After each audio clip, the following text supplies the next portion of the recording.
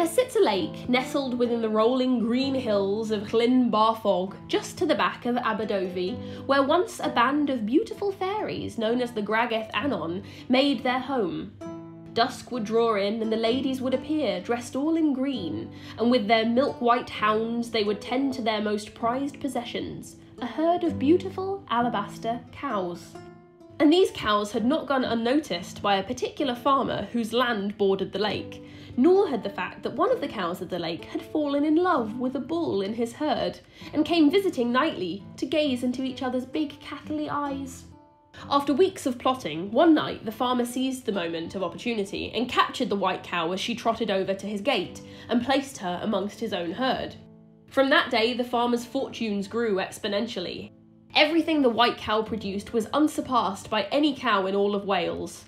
Her calves were strong and healthy, and her cheese, butter, and milk were as delicious as fairy wine. The fame of the cow was spread across all the kingdoms, the farmer, now fat and with wits dulled by his years of wealth, began to think, without any real evidence to support such a notion, that the fey cow was probably getting old, and that it was time to fatten her up ready for slaughter.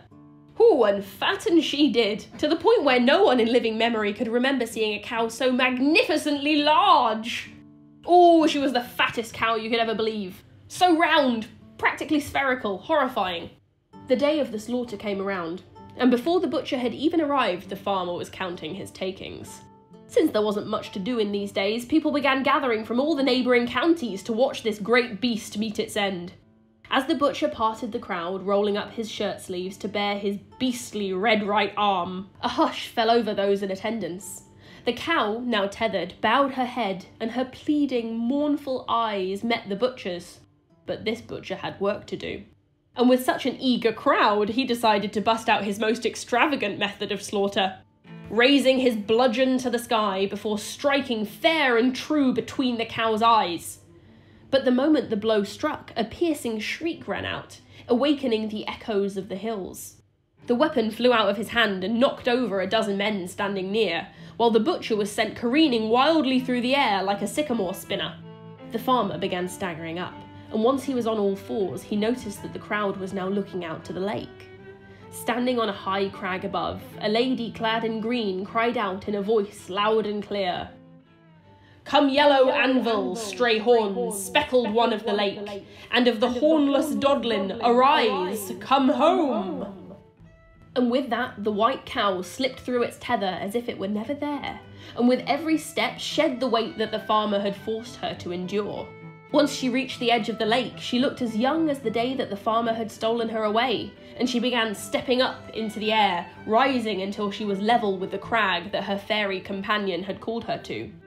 Presently, the cow's entire herd, her children, her children's children, and even their child, began walking out of the farmer's fields and into the air to meet their mother. Only one of the farmer's herd remained, and even she had turned from milky white to raven black. But she was actually the first of the Welsh black cattle, so that's nice. Seeing his prospects quite literally up in the air, he staggered about his farm, letting out the most pitiful cries, at times cursing the fairies, and at others pleading desperately with them. Eventually, having realised that he was truly a disgraced man, he threw himself into the lake, where he drowned, while the Gwragedd Annwn watched, laughing imperiously from atop their crag.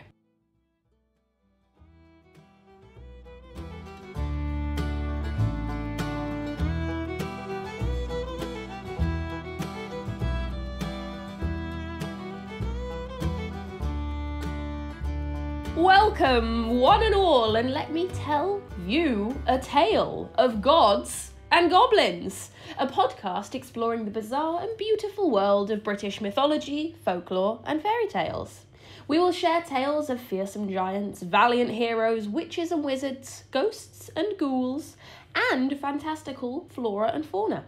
But in this, our first series, we are continuing to look at the fairies of the British Isles. But first, let's introduce ourselves. Hello, my name is Heather Morehouse. I am going to be mostly narrating, and I have with me a little goblin sitting in a little goblin chair, and his name is Kieran Hill. How the devil are you, Kieran? I'm very well, thank you. Very well. It's a beautiful day today. It is. Um, It's a bank holiday Yes, a bank holiday Monday, another bank holiday. Wow, there've been so many recently. and all completely wasted.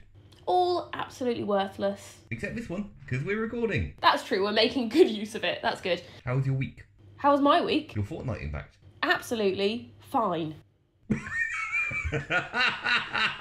of gods and goblins. Come for the stories, stay for the banter. I'm excited, currently, to tell the world, the people who are listening, our beautiful listeners, about our next topic. And we're talking about fairies in relation to the landscape where fairies live, where they dwell in the dingles and hingles and hills of Britain. Hingles aren't a thing, but dingles are, apparently. I think it's going to be quite fun. We have managed to make this our longest piece of research yet. I don't know how this keeps happening. We had this concept that the episodes would be like 15, 20 minutes long, and we're already getting up to an hour. How many pages of notes did you say we've made? We, in total, our document for the fairy series is 48 pages long. We've written a book. We've got a lot here, so I think we should probably get cracking. Let's do it. In some areas of fairy lore, the places that they inhabit are ways to explain certain aspects of the British landscape that were mysterious and magical to folk. And so, into those gaps in understanding, the wee folk creep. And soon they dance too. Some of the clearest examples of this would be fairy rings. These are the dark rings in grass that sprout into toadstools in late summer and autumn, and were believed to be caused by fairies dancing in circles. They're actually caused by fungus forming structures beneath the grass that spread out in a circle, dying out in the centre first until a ring of live fungus continues. In undisturbed patches of grass, fairy rings can expand by 30 centimetres a year and live for centuries. Do you remember that show, The Magic of Mushrooms, that we watched with that lovely old oh, scientist man?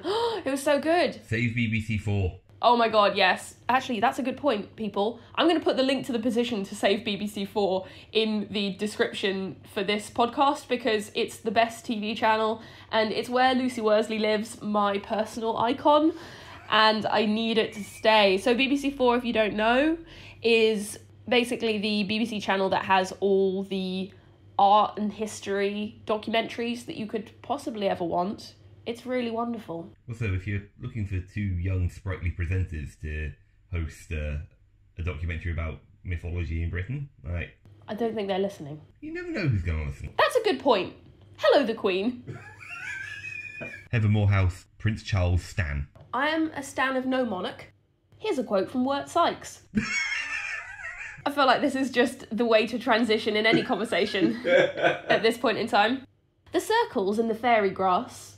No, I just put fairy. the fairy grass of the fairy fields. No. In the fairy hills, near the fairy sky. In the fairy glade. Oh, the fairy glade. Okay.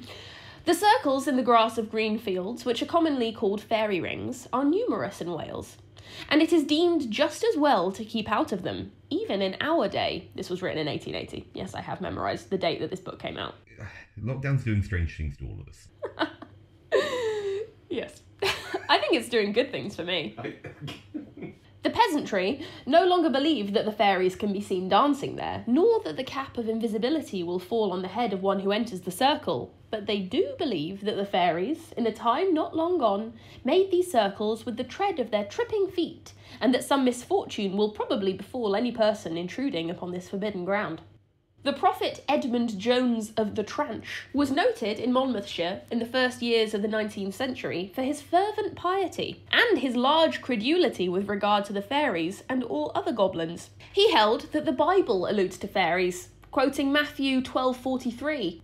He says that the scripture saith that the walk of evil spirits is in dry places and that fairies dance in circles in dry places. So they're definitely evil spirits.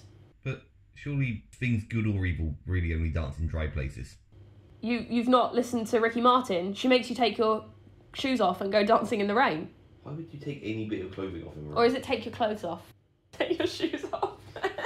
he also claimed that they favour oak trees due to the deep shade that they offer, mm-hmm. and because druids liked them. Put it all together. So it was dangerous to chop down oak trees in fair, dry places, lest a mysterious aching pain claim their lives. But it's not all doom and gloom. The Welsh sheep, it is affirmed, are the only beasts which will eat the grass that grows in the fairy rings. All other creatures avoid it, but the sheep eat it greedily, hence the superiority of Welsh mutton over any mutton in the wide world. I like that this is a link between a lot of stories we, we've been looking at. In, if they're from Wales, they almost always end with, and that's why X animal from Wales is better than all the other animals. There's quite a fun little detail about fairy rings in The Good People, New Fairy Lore Essays by Margaret Bennett, who recorded that in Balquhidder, in the Scottish Highlands, it was believed that fairies would use the mushrooms of fairy rings as seats and dinner tables. Oh, I know! Instead of the knights of the round table, you have the little fairies of the round table sitting on their little toadstools. We also have explanations for the earthworks that we see around the British Isles too. The Dana O'Shea, which we discussed in the last episode, are the fairy race of Ireland, descended from the mythical and fabulous Tuatha de Danann. And they take their name from the mounds that they came to reside in, she meaning mound or hill. These prehistoric hill forts and ring forts and other such earthworks are most prevalent in the Celtic areas of Britain, Cornwall, Wales, and Ireland, and are raised or walled defensive structures that were likely built in the Bronze and Iron Ages, which is around roughly a thousand years BCE. I love how many times fairies are just given credit for stuff that like people's ancestors from like two generations back had done. How long do you think a generation is? Who's to say? So, a lot of the stories that we have are recorded between sort of 1700 and 1900. Mm-hmm. And these were built a thousand years BCE. Are you mixing up a generation with a millennia? I no A millennium, rather. no. No. Okay. Well, they were from quite a long time ago.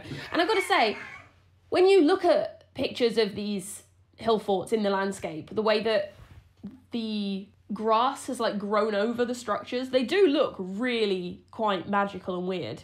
So yeah, I would say, you know, without, you know, geophys, without time without time team to help you out, and you know, you're a superstitious farmer in 1755, you look at this and you're like, what is that? Yeah. If only Tony Robinson was here to help me. There's a quote here from O'Curry in Lectures on Manuscript Materials, published in Dublin, 1861. And he says The term she, as far as we know it, is applied in old writings to the palaces, courts, halls, or residences of those beings which, in ancient Gaelic mythology, held the place which ghosts, phantoms, and fairies hold in the superstitions of the present day. So, the place that they come from, their dwellings, are in this case extremely important to their kind of identity as Yeah. As mythical things. W.Y. Evans Wentz, in The Fairy Faith in Celtic Countries, published in 1911, explains that in modern Irish tradition, the people of the She, or simply the She, refer to the beings themselves rather than to their places of habitation, as we discussed. Partly due to the belief that the She are a subterranean race, they are sometimes described as gods of the earth.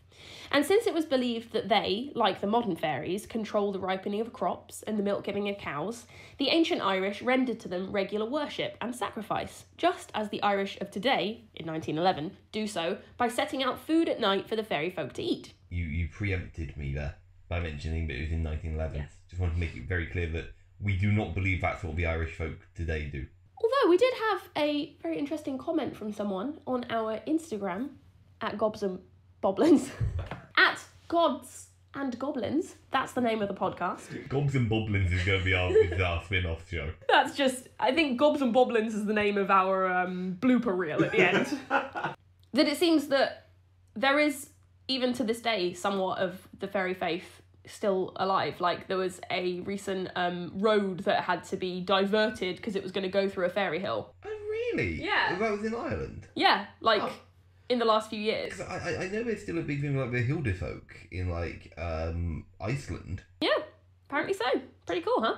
And so in the Irish fairy mythology, we've got the Tuatha De Danann, the immortals from Irish legend. We've got these versions of them that are more like pagan nature gods or spirits. And then we have the she themselves, the smaller, more diminutive fairies that we are familiar with. But they've all tended to be described as coming from these fairy hills and forts. Evans Wentz goes on to describe that their marvellous palaces were hidden in the depths of the earth, in hills or under ridges more or less elevated. Also in mountain caverns like those of Ben Bulbin or Knockma. Are you laughing at the name Ben Bulbin? I mean, that is quite funny. Or in fairy hills or knolls like the fairy hill at Aberfoyle, or beneath lakes. We'll discuss that later. And in these tales, the land where the fairies have their palaces is a place without illness, decay, or aging, as well as time existing differently in fairyland. For example, a single day there can last many human years. Isn't that a good thing? Imagine how much work you could get done. Yeah, but I don't think you're allowed to bring your laptop. No PowerPoints, I guess. One tale of a fairy hill is known as the Calf of Knockshegowna. Recorded in Fairy Legends and Traditions of the South of Ireland by Thomas Crofton Croker, and Tipperary Folk Tales by Aideen McBride. Knockshegowna is a townland in County Tipperary, translated from the original Gaelic, means the hill of the fairy calf. The story behind that is the very story that we are telling today. The fairies that dwelt upon the hill of Knockshegowna had become frustrated that the cows and sheep the farmer had put up there were constantly trampling around and disrupting their dancing and revelries. So, one night, once the herdsmen had settled down into their watch, the fairy queen appeared in front of them and began to dance, now in one shape, now in another, but all ugly and frightful to behold. One time she would be a great horse with the wings of an eagle and the tail like a dragon, hissing loud and spitting fire. Then, in a moment, she would change into a little man lame of leg with a bull's head and a lambent flame playing around it. Then into a great ape with duck's feet and a turkey's tail. Then she would roar, or neigh, or hiss, or bellow, or howl, or hoot.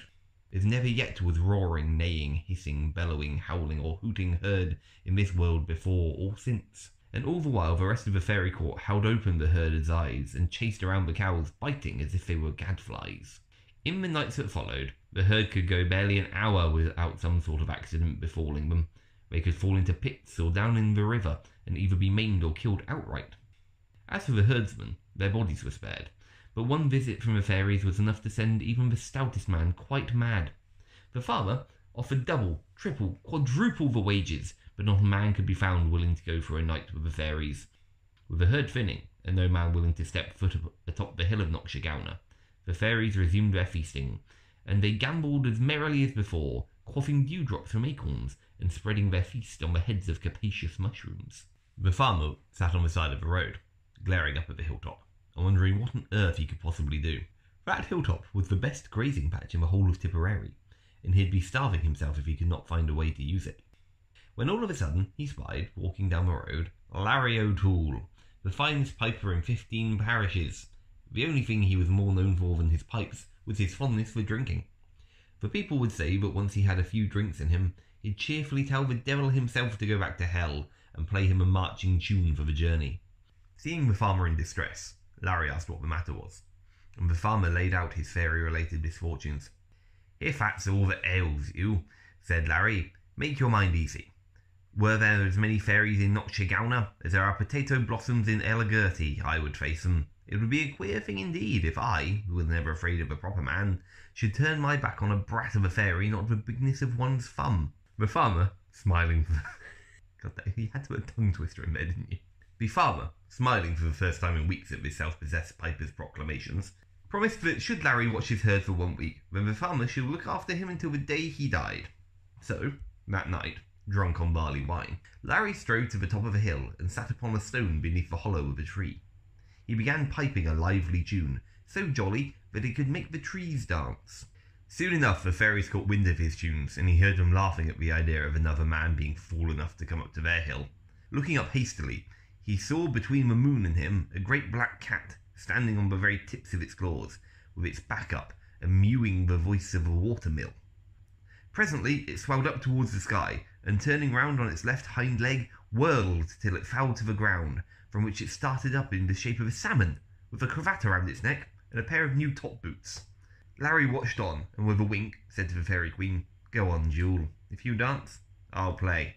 So she turned into this and that and the other, but Larry still played on, as well as he knew how. At last she lost patience, as ladies will do when you do not mind their scolding. Do you want to say anything there, Heather? The lady in the room? I have only one question. Hmm. Is the salmon wearing boots on little legs? Or are they on its fins? I can't imagine. Or is it just one boot that the entire tail goes into? I see. I, I was imagining him carrying them in his little mouth. That was not what I was anticipating. Sensing that he was not going to be scared off, the Fairy Queen hatched a plan. She transformed herself into a milk white calf with large brown eyes, in the hopes of catching him off guard.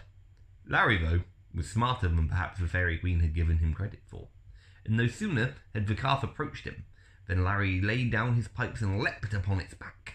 But the Queen had one last trick up her sleeve, and leapt in a second a full ten miles up into the air before swooping across and over the Shannon River. They landed with enough force to throw Larry clean off the calf and to the ground, but he didn't waste a second and bounced straight back to his feet. He looked the calf dead in the eyes and said, By my word, well done. That was not a bad leap for a calf. Oh! Shots fired! The fairy took a second to process this, and knew once and for all that she had been bested by this gin soaked piper. She resumed her own shape, and promised from that day forth, so long as Larry was looking after the herd, that she nor her fairy retinue would ever bother them again. And with that, the farmer kept to his word, and Larry built a house and was able to pipe and drink at the farmer's expense for the rest of his days. The hill of Knockshegowna was peaceful until the day that Larry died, pickled but happy. As for whether the fairies took back their residence at the hill after his passing, I simply cannot say they did. They absolutely did. Yeah, they're back. They're Right. back, bitches! Until it got turned into like a, a byway. So we've discussed the fairy hills and mounds of Ireland. Let's move on to Scotland. Robert Kirk collected tales from the Scottish Highlands of fairies being seen at certain phases of the moon within their hills that are raised on high pillars for the time that they are visible. How does a hill be on a pillar? I, I thought what you meant was the fairies are on pillars on the hills. No! Wait, maybe. No, I think the hills are on pillars. So like you've got pillars going up and then the hills on top. Oh, like um, like Daddy Longlegs. I was thinking more like a viaduct. What are you talking about? Uh, those weird like kind of automated things that used to go out into the sea in Brighton. Yeah, I know the ones. Like, um, before the piers in the Victorian times, they had these weird, like, mechanical walking platforms that were going to the sea that looked like AT-ATs from Star Wars. Yeah, they were called Daddy Longlegs. They look mental. Yeah. Regardless, this seems to have been a belief inherited from Scandinavia, where fairy mounds are brought up on red pillars so that they can feast with their neighbours. Where do you think that idea came from? Particularly like with red pillars. Like, surely there's got to be something there that would make somebody like stop and take notice and go, "Oh, maybe that's for fairies." Maybe they have like some really red trees or something, or like something mountainous or glacial. Maybe looks like pillars in the night. I don't know. In the accounts recorded by Robert Kirk, every quarter year, as the season changes, the fairy inhabitants of these hills will move from one place to the next, swapping houses a bit like hermit crabs swap their shells, I thought. And during this time, it is dangerous to walk on the fairy paths, the well trodden lines between fairy mounds, as the entrances into fairyland are open at this time and fairies are abroad. In his fairy faith in Celtic countries, Evans Wentz, again, ventured out into the Highlands and was able to speak to a man named John Dunbar, who had this to say of the Highland fairies. My grandmother believed firmly in fairies, and I have heard her tell a good many stories about them. They were a small people dressed in green and had dwellings underground in dry spots. Fairies were often heard in the hills over there, he points, and I believe something was there. They were awful for music and used to be heard very often playing the bagpipes. When he says awful, does he mean is, is that like an archaic use of the term awful, or is it just saying they were terrible? They were shit bagpipes? at music. God, those bagpipes sounded like garbage. They're too small. That's the problem with bagpipes, not large and cacophonous enough. I think a miniature bagpipe would be mm, no worse. I think that'd be worse. Rather than you know. That's a, that's a comparison for you. A woman wouldn't go out in the dark after giving birth to a child before the child was christened, so as not to give the fairies power over her or the child. And I have heard people say that if fairies were refused milk and meat, they would take a horse or cow, and that if well treated, they would repay all gifts. Very much the inspiration from Anak Mac Feegle from Discworld in that regard. Yeah, just taking them sheep, running away. So, yes, living in mounds, in dry spots, playing bagpipes, great guys. But some fairies in this region seem rather more rough and ready than the stately she. with reports of fairy packs hunting down sheep and cows, and even of fairies going toe to toe and fighting with rams. That sounds fantastic. Hogboy Ha! Me? is the next thing we're talking about. Hogboons, or hogboys, meaning mound dwellers, live inside fairy mounds in the Orkneys, and they will guard these burial chambers from intruders. Hogboons became intermingled with stories of hobgoblins, probably due to the similarity in their name, and became guardians of farms too. And they will happily mend equipment laid out for them and protect farm animals from malevolent spirits. But a hogboon does expect to be rewarded for his work, so milk and ale should be poured on his mound. Pouring one out. Pouring one out for the hog hog boy. boy. The Hog Boonies? I, mean, I will happily take the, the nickname Hog Boy, by the way. Hog Boy Kieran Hill. Maybe that can be. We need like uh, monikers for this. You can be Hogboy Kieran Hill. What can I be? Heather something Morehouse. We'll know when it comes. Yeah. We'll know when the right name reveals itself to us. And should anyone try to dig up his mound, the Hogboy will appear as a little grey man and ferociously attack the person. More rustic still are the Coblynau and Cornish mining fairies. The Coblynau do not necessarily live in an alternate land of their own underground, like the She, but they live and work alongside their human mining colleagues. In fact, we talked about them last episode. So if you'd like more information on the Coblynau and the Knockers, I would recommend listening to episode 2b. But to summarise, they are helpful spirits and will lead miners to rich veins of ore And might be the spirits of those involved in crucifixion, mm. despite living in caves in Cornwall. They would lead miners to rich veins of ore, and the appreciative humans will give them small treats in return. In Cornwall, these would generally be the leftovers of the iconic Cornish pasty. There are several theories surrounding the pasty's crimped crust. Some say it was not meant to be eaten, since the miners' hands may have been contaminated with arsenic, which is a byproduct of processing tin. But others argue that the miners likely just ate their pies in some sort of wrapping to avoid ingesting the toxins. Another reason for the thick crust, you ask? Heather, are there any other reasons why a Cornish pasty might have a thick crust? Thank you for that extremely unscripted question. Well, it's a built in offering to the knockers. You can just pop that crust straight off and give it to the knockers, as these mischievous spirits were believed to cause trouble if they weren't appeased with little treats. Apparently, old timey Cornish pasties used to have like all of the courses in them. So you'd have Yes. the meat and potatoes, and then like some pudding. Yes, like, like just jam at the end. Yeah, it sounds absolutely disgusting. Did you know there are some accounts of underground fairies in mainland England as well? I did not. Please continue. Well, you should, because one of them is based in Oxfordshire, and it's based around the Rollright Stones. I used to get drunk near there. Yay! Weren't you the one that defaced them? No. Mm. No.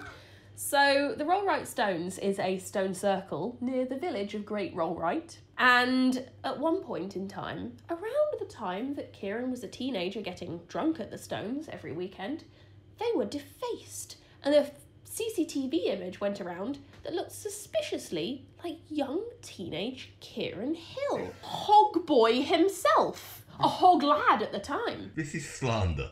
You know me. Would I deface, like, an artifact? Yeah. No, I, I'm so lazy. This is when you were a hog baby. You weren't fully matured at the time. It looks kind of like me. It looks a lot like you. It looks a lot like me.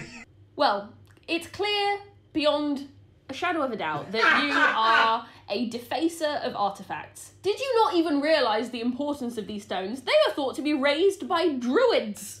Druids! And it's said that this was where the fairies were last seen in Oxfordshire, disappearing down a hole next to the kingstone of the circle after coming up to the surface for a night of fairy revelry. You know, now they're never coming back. I'm sorry. Yeah, well, you should I, be. I, I, wait, I didn't do it. You confessed!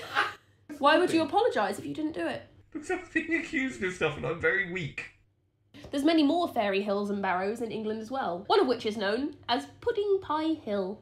Oh, where's that? It is near Sowerby in Yorkshire. And it's called Pudding Pie Hill due to its resemblance to a pie or pudding. It's a burial site of a type called a long barrow, which means it's long rather than circular, which dates from the late Neolithic period to the Bronze Age, around 2400 to 1500 BC. And I assume you probably pissed on that as well. I, you know I've never been north of Birmingham. That's true.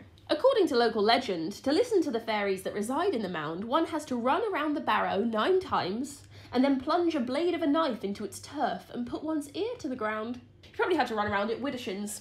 You really want to say the word editions there, didn't you? Yes. it means anti-clockwise. There's a story like that of the, uh, of the church in Chippenham as well, apparently. If you run around it like eight times at midnight, you'll see a ghost. Oh, what's the ghost called? I don't know. I guess it's just uh, you're quite woozy by then. Yes. In a tale recorded by both the Essex chronicler, Ralph of Coggeshall, and Yorkshire's William of Newburgh, two green children were found near Woolpit in Suffolk, at the mouth of a cave that may have been an entrance into an underground fairyland. The children, a girl and a boy, looked like normal humans, but their skin and hair was all tinged with green. They were taken into the home of a local knight, Sir Richard de Calne, but despite being given gentle care, they wept bitterly and spoke in an unrecognisable language. The green children were offered bread, honey, and milk, but did not eat anything despite clearly being very hungry. That is, however, until they were given green beans, which they tried to eat all in one until they were shown how to open up the pods and eat the fresh beans inside. This is actually all they would consume for quite some time. Eventually, the children would learn to explain that everyone and everything in the country they came from was green, and that the sun wasn't bright there as it is over ground, but the light was soft as a sunset. The children had been following their green flocks until they came to a cavern in which they heard the tantalising sound of bells. Following the tunnel for a long way, the green children found themselves at the mouth of the cave. Emerging and becoming dazzled by the bright sunlight and the heat of this land, they fell to the ground and lay there for a long while. When they were awoken by the people that found them, the children tried to fly but could not, and they were not able to find their way back home. The version of this story recorded by Ernest Rhys in Fairy Gold, a book of Old English fairy tales, suggested that the children may have returned to their home. But another chronicle tells us that Sir Richard de Calne got the children baptised, and gradually they learned to communicate and to eat a more varied diet than green beans.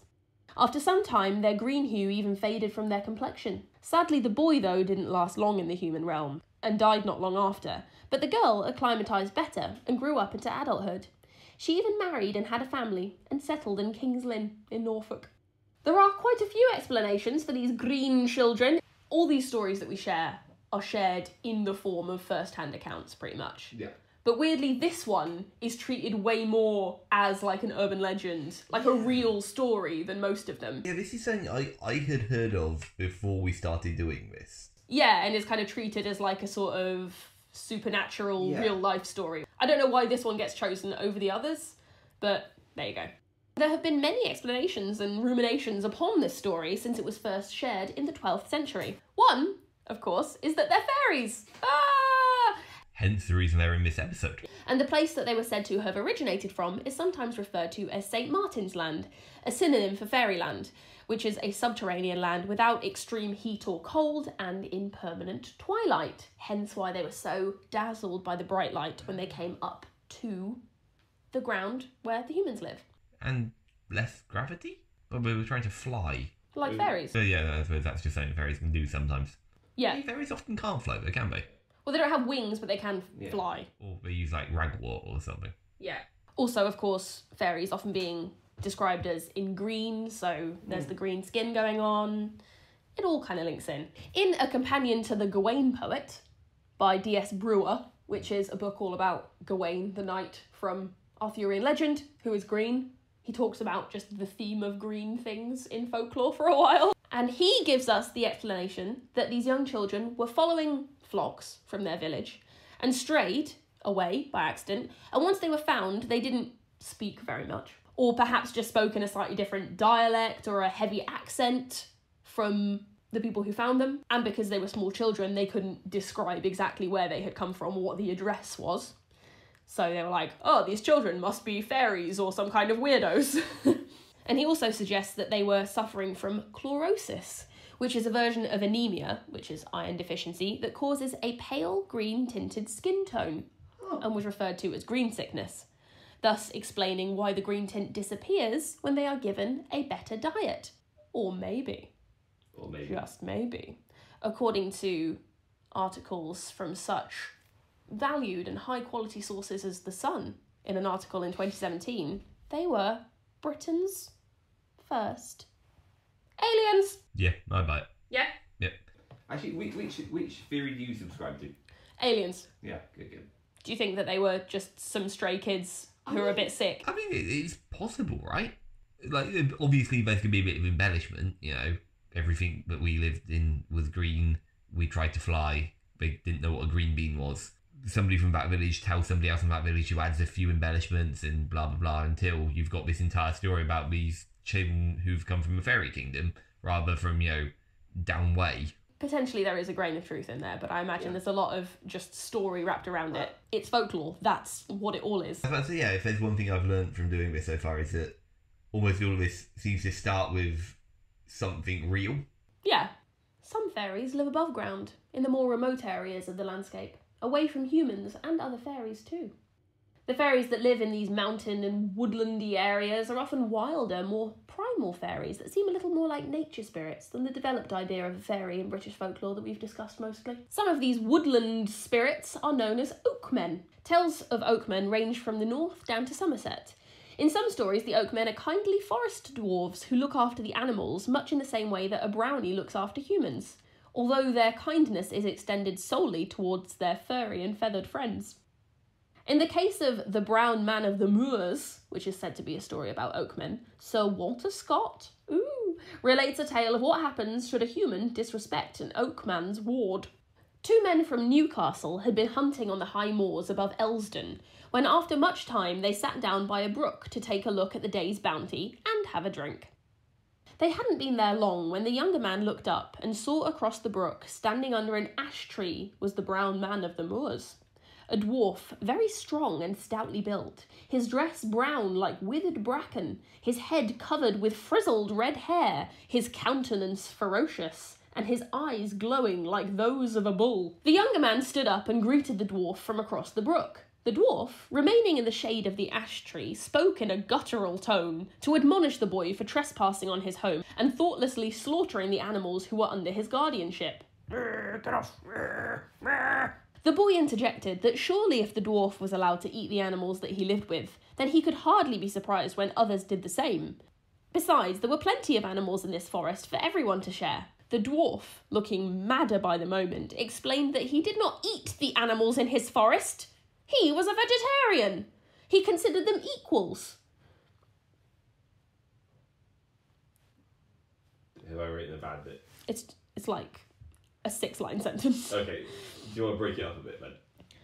No, I just I have to just convert some commas into full stops Yes. in my mind. I'm sorry, Heather. It's okay. I'm, I'm going to be more like wary of this Just in future. just con- yeah, imagine yourself reading it out loud. What I should do actually is once I've done a story, just read it out loud. Mm. Actually, that's absolutely what I should be doing. Yeah. The dwarf. Oh, you. The dwarf, much like the deer and the rabbits that he shared his home with, lived off whortleberries, nuts, and apples. What's a whortleberry? Apparently, it's a little like a bilberry, or a blueberry, Bilberry? or a loganberry. What's a bilberry? It's a bit like a whortleberry. Ask a stupid question. Get a very reasonable answer. They're very reasonable. They're all from the same family, Vaccinium. Oh, That's the Latin name for berries in this family, Vax- Vaccinium. do you just like know it off the top? That's really impressive. It's only because I found out what that mystery plant in the garden was a while ago and found out that it was a vaccinium, and I thought it was quite interesting because it sounds like vaccine. Maybe people thought they caused vaccines. I don't know. I don't know, Kieran. I don't know.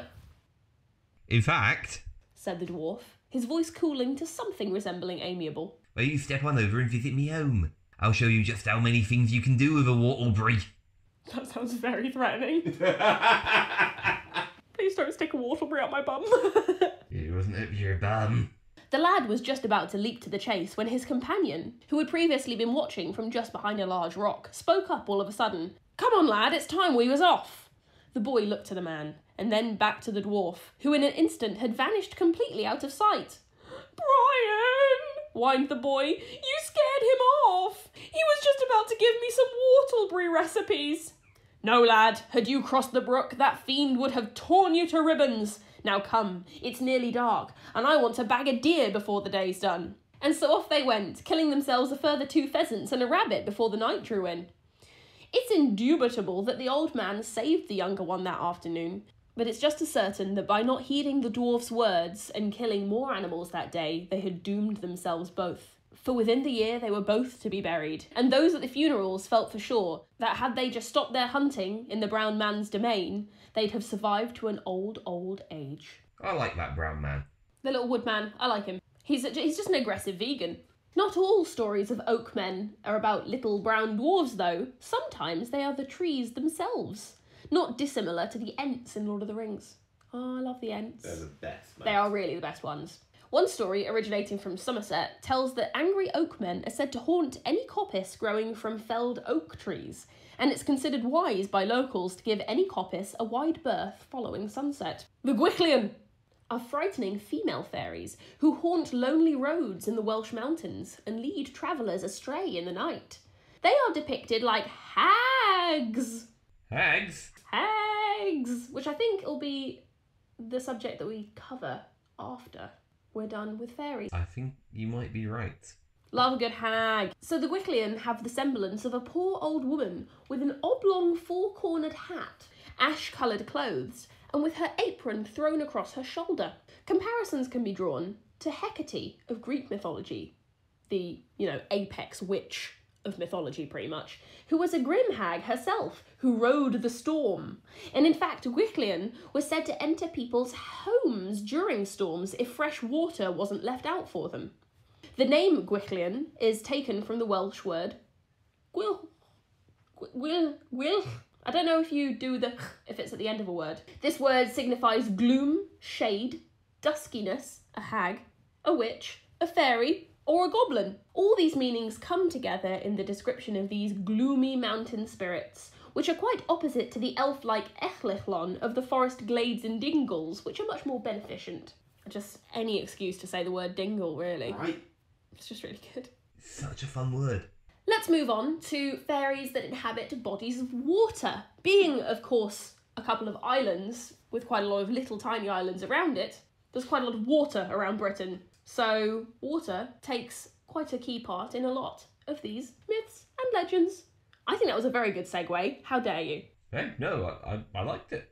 We're keeping things a little bit dark and edgy, actually, moving on from the Gwyllion in this bit, because lakes and rivers are often linked to the underworld in mythology, with, of course, the river Styx in Greek myth being the prime example. Davies, in Mythology and Rites of the British Druids, which oh. sounds like a very good book, I must read the rest of it at some stage, describes a tale of a small lake in the mountains near Brecknock in Wales, which is said to be an entrance into the underworld. Although, in the context of British folklore, I think quite interestingly, underworld seems to have come to mean the fairy realm, kind of mixing those mythologies together. Thomas Keightley, in the fairy mythology, shares a story of what may be that very same lake in Brecknock and what lies within it. Every year on May Day, a door in a rock by the lake was found open. And anyone curious enough to enter through the door would find themselves following a narrow passage that ran underneath the lake and opened out onto a small island in the centre of it. On this little island was a beautiful garden, overflowing with ripe fruit and flowers blooming in every colour. The garden was tended by the Tylwyth Teg, or the Fair Family, a kind of fairy whose beauty could be equalled only by the courtesy and affability which they exhibited to those who pleased them. The fair folk would gather fruit and flowers for their guests and entertain them with enchanting music and whisper the secrets of the future into their ears and invite their guests to stay with them for as long as they pleased. Their only caveat was that the island must remain secret and that nothing could be taken from it into the human world. If on one of these days a passerby was to look at the lake from its edge, the scene would be entirely invisible. Only a keen observer might notice that no birds flew over the water, and that on some sweet mornings a few strains of music would float over the breeze. On one particular May Day, some sacrilegious wretch left the company of the Tylwyth Teg with one of their flowers in his pocket. The fair family waved him goodbye at the threshold to the passage and wished him well, but as soon as the man's foot touched the ground outside their land, he grew dizzy, and the flower vanished from its hiding place. At that, the fairies shut the door, and while the occasional bar of fairy song is heard at the lake, they have never reopened the door to invite lucky mortals to join them. Sometime after this, an even more foolhardy person attempted to drain the lake to gain access to the garden, when a terrific form arose from the midst of the lake, commanding him to desist, or otherwise he would drown the entire country. Steal a flower, you're not allowed to our parties anymore. Steal all our flowers, we'll murder you all horribly. I mean, you know what? Natural escalation. Regarding fairies that actually live in the water, we have the Welsh Gwragedd Annwn, literally meaning wives of the lower world or hell. And they live in lakes and rivers, particularly those far away from human society, hidden away in the lonely mountains. These bodies of water serve as avenues of communication between this world and the lower one, known as Annwn, or the underworld, which is a shadowy fairy realm ruled over by Gwyn ap Nud, the king of the fairies, according to the Welsh mythology superstar. That's what I wrote. Let me guess. Is it Wirt Sikes? It's Wirt Sikes! The Gwragedd Annwn are emphatically not mermaids. They are your typical elfin fairy ladies and not fishy at all. Crumlin Lake, near the village of Briton Ferry, is one home of these water fairies. It is also believed that a large town lies submerged beneath the water there, and that the Gwragedd Annwn have turned the walls of that city into a magnificent fairy palace. One story of the Gwragedd Annwn involves some pretty big names. I'm very proud of this one. I really like this story. I just think it's really funny. One day in the misty past, St. Patrick came over from Ireland to visit his buddy St. David of Wales, just to say, How do you do? They were taking a stroll along the banks of a river, chatting about some religious stuff. God, Snakes. books, Matthew.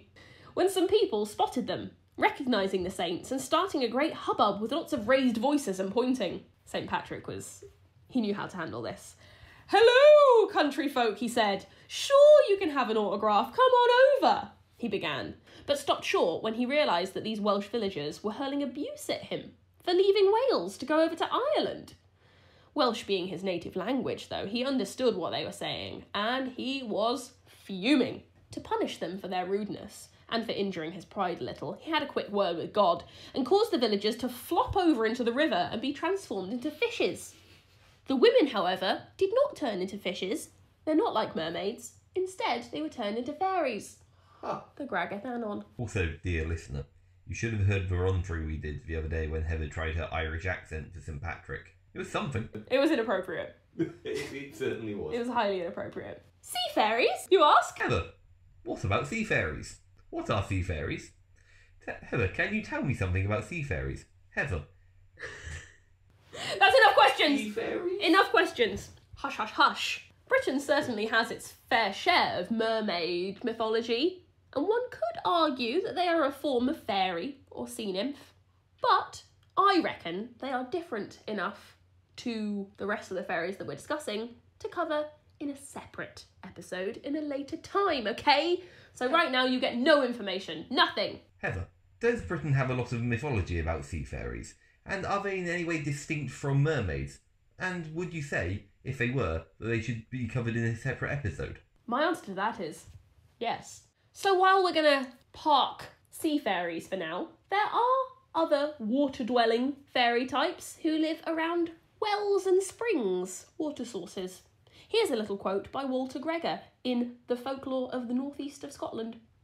Fairies were believed to dwell inside green sunny hillocks and knolls, as we have discussed, beside a river or a stream or a lake, or by the sea braes, in gorgeous palaces furnished with everything that was bright and beautiful.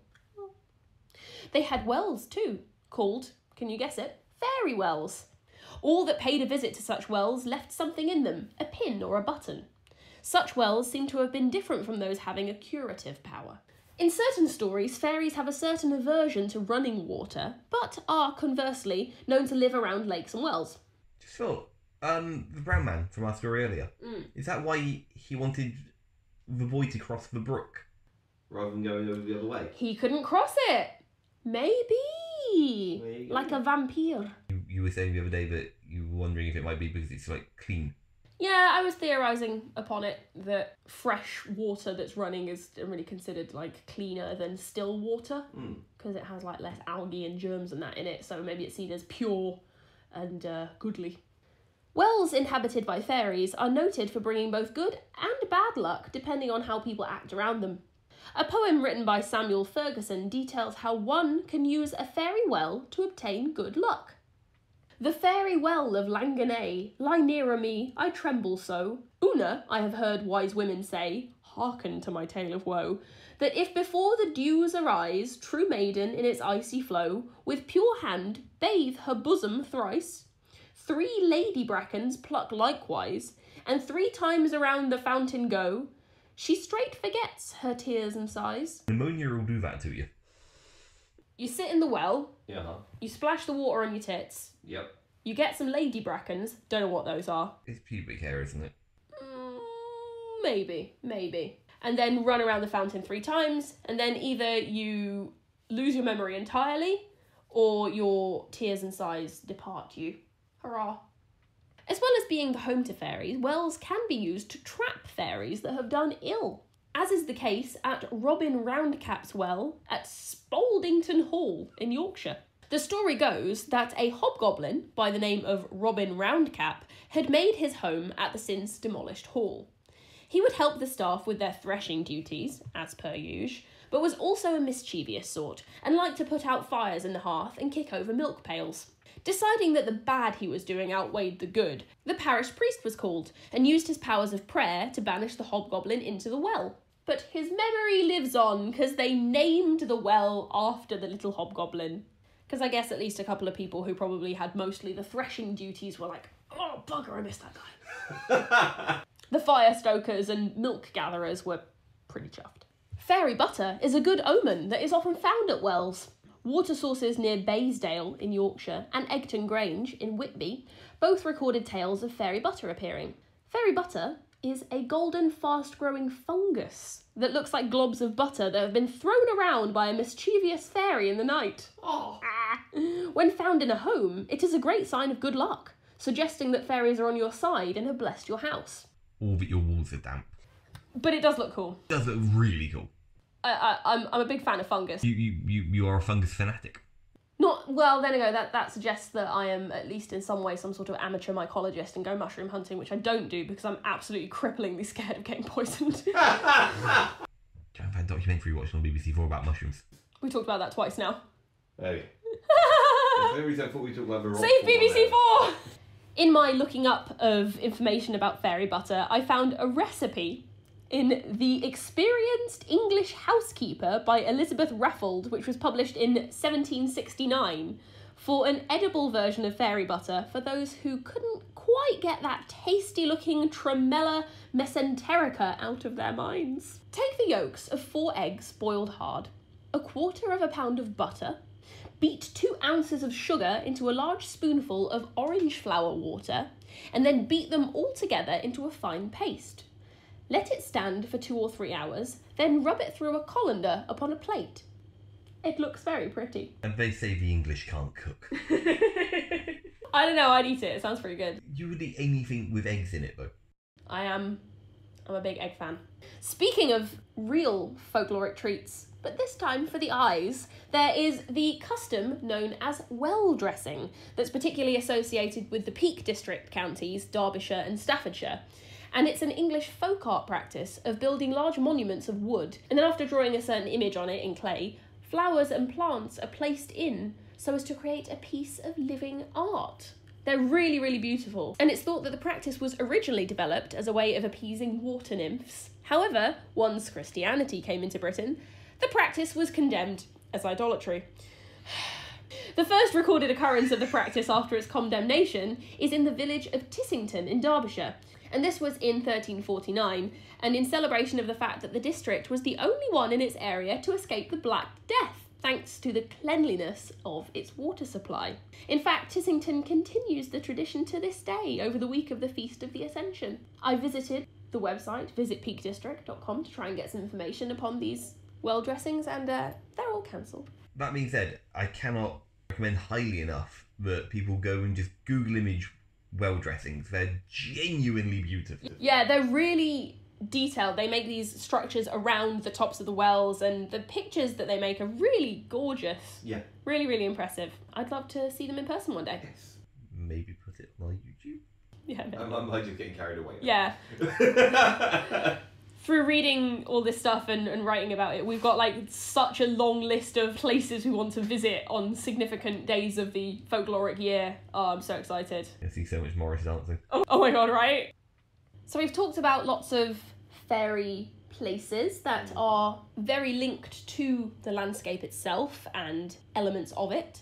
But there are also tales of fairy palaces that are visible to humans only when the fairies invite them, only to vanish at any moment when the fairies grow tired of these people's company. And it's almost as if these castles exist in a slightly different version of the world, like in a parallel dimension. The Celtic Saint Colin once visited a fairy palace on the top of Glastonbury Tor.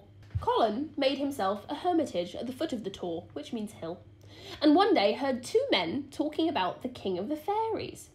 At which point, Colin poked his head out of his hermit hole and told the men to shut up, as they were talking of devils. Colin was a hundred percent sure that fairies were demons. The men became worried, as the King of the Fairies would not forgive such an insult and would surely send for Colin. And they were right, as a few days later a stranger came to Colin's door and asked him to come and meet the king. Colin thrice refused, until he finally agreed to come with the stranger, but not before hiding a sprinkler of holy water underneath his hermit cloak. As they arrived at the top of Glastonbury Tor, the fairy palace was visible to him, full of bright lights and bewitching fairy music. Handsome youths rode mighty steeds around the courtyard, and beautiful light footed maidens danced between them. Inside, the king was sat on a golden throne at the head of a banquet, with pages waiting on him dressed in dazzling shades of scarlet and blue. The king greeted Colin warmly and invited the hermit to partake in the feast, promising the rarest of foods, wine, and courtly services. No smut.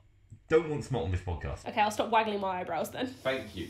I do not eat the leaves of a tree, rebuked Colin, flouting all common beliefs that demand humans are polite to the fair folk, and sending a shudder around the banqueting hall. And your pages! Blue is the colour of the eternal cold, and red for the burning flames of hell from whence you came! This guy sounds like no fun. At which point, Colin grabbed his holy water and threw it over the fairies, causing the king, the castle, and the court to disappear in an instant. Uh, Melting, melting!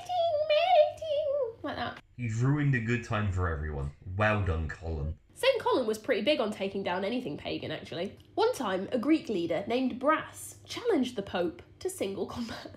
He did what? You can't just challenge the Pope to a fight. Well, he bloody did.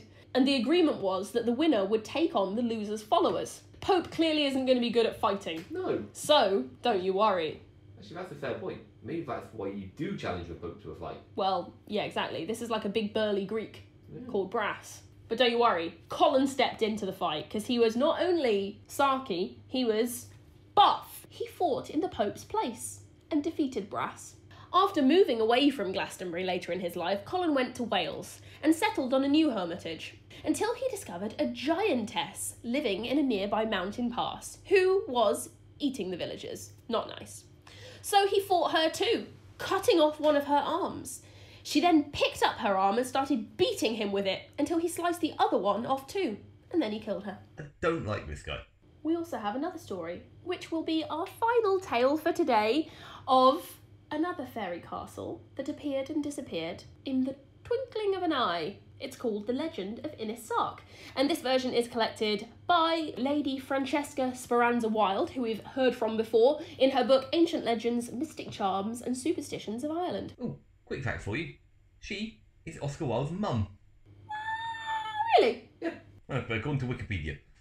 Huh, That's kind of cool. The girls of the island of Innisboffin knew better than to go out when the moon was full. For if the fairies didn't carry them off to the fairy country, then even hearing a single note of fairy music or taking a single sup of fairy wine could change their lives forever, and within a year they'd have either disappeared or died. The boys, on the other hand, were slightly braver, or perhaps just foolhardy, as the fairies were just as keen to grab boys to fight in their wars. For you see, the fairies of Innisboffin were split into two parties. One a gentle race that loved music and dancing, and the other who had attained their powers from the devil himself, and were always trying to work evil.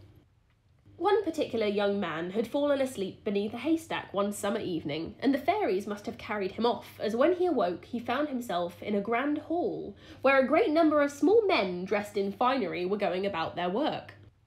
Some spinning, some making shoes, some making spears and arrowheads out of fish bones and elf stones, but all busy laughing and singing with much glee and merriment, while the little pipers played the merriest tunes. In the corner there sat an old man, who presently got up and approached the boy with a very stern look upon his face. What are you doing standing there all gormless like? The man said, We've got friends coming to dinner. Now down to the kitchen with you. And brandishing his stick, he walloped the boy until he'd driven the boy down to the kitchen. The kitchen, in stark contrast to the hall, was dingy. So dingy, in fact, the boy had to feel his way along a dank, mildew ridden wall until he came to a fire, with a large pot hanging above it. The old man, having followed him down, began barking at him. Now, begin to prepare the food. This old hag shall provide our meat this evening.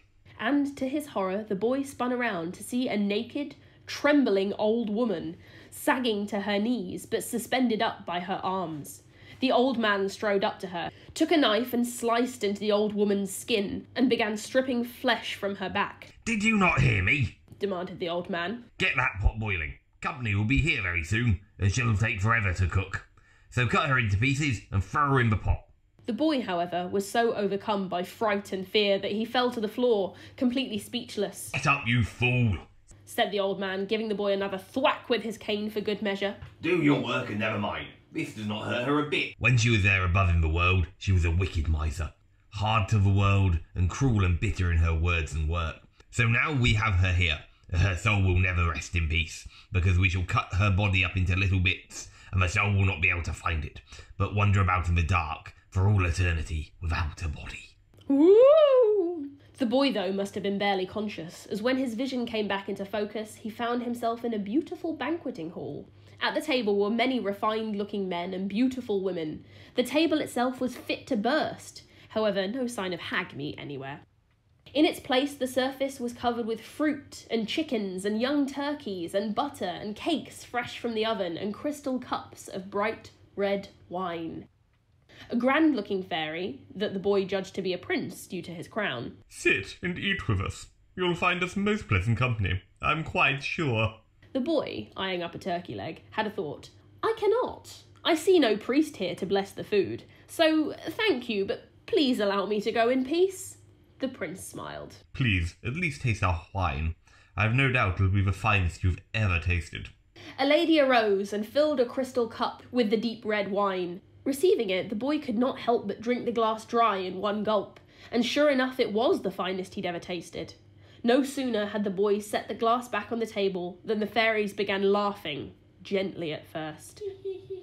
But eventually it grew so raucous as to shake the whole building. Ha ha ha ha ha. The lights began to fade, and the boy shook his head to find that he was lying under the haystack that he had fallen asleep under earlier that night. Making his way home, he found the taste of the fairy wine burned throughout his entire body, and for night upon night he was bedridden with a fever. Whenever strong enough to walk, the boy would seek out the fairy kingdom in search of another taste of the fairy wine. But alas, he could never succeed, and he died a year to the day that he chose to sleep under that haystack. His name was whispered for years throughout Innisboffin, a warning to all who eat the fairy food or drink the fairy wine, for nevermore will they know peace or content, or be fit for their work, as in the days before the fairy spell was on them, which brings doom and death to all who fall under the fatal enchantment of its unholy power. And with that dramatic tale, we will leave you be until the next episode, which will be in two weeks' time. And we'll be talking about um, some theories behind what fairies are, where they come from, some Victorian folk revival stuff. It's going to be kind of fun. this is our this is our final part on fairies coming up, uh, and we're getting theoretical. Yes. So, uh, we thank you for listening to this episode. Yeah, thank you guys so much. Thank you for everything that's been said on social media so far. We look and listen and appreciate everything that's said. It's really nice to uh, have such such kind feedback. And um, yeah, if you have been enjoying it, do make sure, if you'd like to, to follow us on our social medias. We are at Gods and Goblins on all of them, pretty much. We're on Twitter, we're on Instagram, we're on Facebook, we're on SoundCloud, we're on YouTube. And if you have been enjoying this, please do, if you would like to, share it with your friends, you know, tell people on the street, just write it on a lamppost. Write it on the Rollright stones. Mmm, see that's that's why you got banned from Greater Rollright, isn't it? That's why you're not allowed to set foot in Rollright anymore. That's why the druids have been cursing you all these years. You can't do it. It's why my fingernails do grow extra long on a full moon, yes. Yeah, it's horrendous. Do not deface any ancient artifacts, but please feel free to deface any modern artifacts. Let them know that Gods and Goblins is a good podcast. or, if that's a bit much, we would be very grateful if you were to rate us on iTunes, help us out. Uh, the more people that listen to us, the better, because it's good stuff, I think. It's good stories, even if we're rubbish hosts, so uh, it's all worth doing. Thank you again. If you don't want to do any of that, it's fine. We'll be grateful enough if you just listen again in two weeks' time for another episode of Gods and Goblins. I have been Heather Morehouse, your narrator. And I am innocent of all charges, Hogboy Kieran Hill. Goodbye. Bye.